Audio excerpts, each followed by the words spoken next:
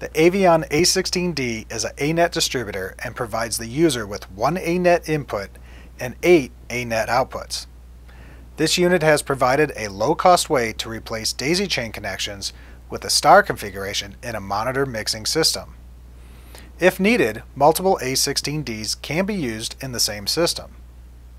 The A16D also has the potential to distribute DC power out of any of its eight ANET out jacks using a PS120 power supply.